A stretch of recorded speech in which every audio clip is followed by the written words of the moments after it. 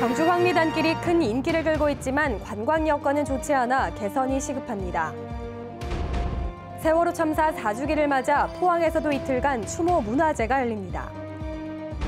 포항시가 구무천에 퇴적돼 있는 수은 등 중금속 함유 토양을 준설해 폐기물로 처리하겠다고 밝혔습니다.